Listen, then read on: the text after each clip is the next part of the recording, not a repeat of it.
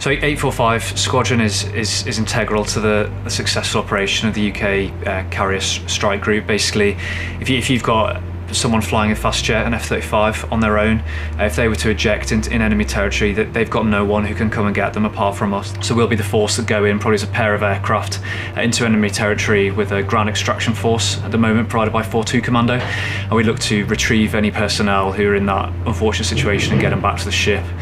And we're fairly unique in UK defence in that we have that specific customer base in, in terms of three commando brigade.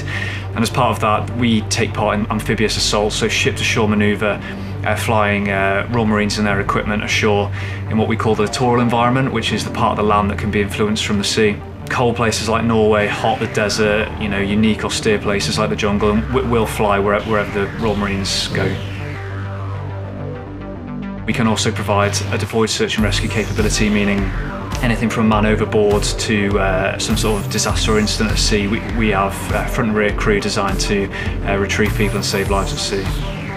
Flying is so heavily regulated and su such stringent focuses on safety and checks and procedures. We, we can operate quite robotically sometimes, but particularly when you're flying off something like Queen Elizabeth, you know, over 900 feet long, 65,000 tonnes, it's, it's nice to step back every now and again and think this is actually pretty good what we're doing. And you know, low level over sea with a, a squad of Royal Marines in the back for a, you know, to rescue a, a down pilot is, is pretty epic. And while it's hard work, it's always good to try and for everyone in that crew to step back and think, yeah, it's actually pretty sweet what we're doing right now.